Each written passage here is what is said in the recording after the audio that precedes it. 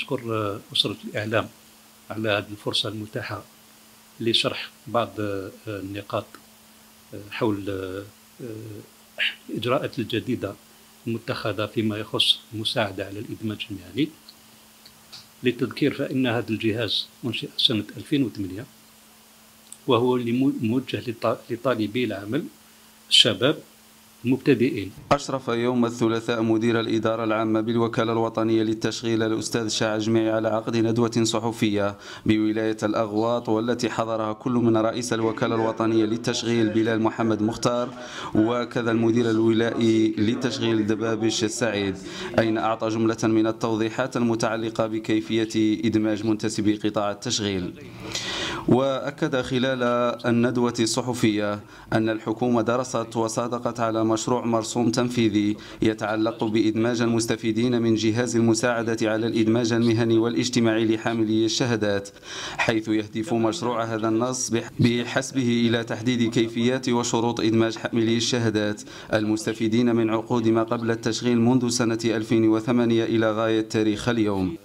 الفكرة أنه راح راح ندمجوا اللي عنده شهادة بارزون في الاختصاص تاعو على حساب المنصب اللي راح يعمل فيه. هذا كما أشار الأستاذ شاه إلى أن عملية الإدماج ستتم عبر ثلاثة مراحل وفقا لمعايير موضوعية وشفافة. وحسب الأقدمية في الجهاز وذلك انطلاقا من الفاتح نوفمبر 2019 وستستمد على مدار ثلاثة سنوات. ستتم آه، سيتم إدماج حوالي 105 ألف شاب.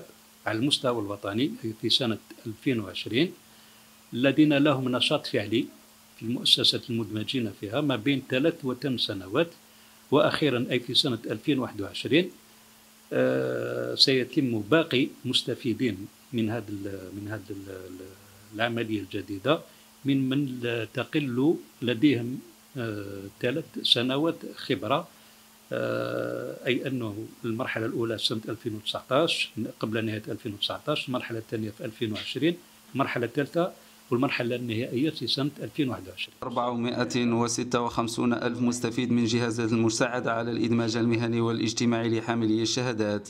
يتم إدماجهم إلى نهاية 21 ضمن ثلاث مراحل بينهم 19 ألف معني بولاية الأغواط.